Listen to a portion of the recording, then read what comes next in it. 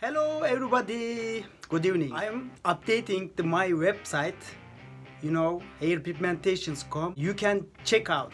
If you ask me about to scalp micropigmentation, you can send me message via WhatsApp or Instagram message, no problem. I will answer for you. See you.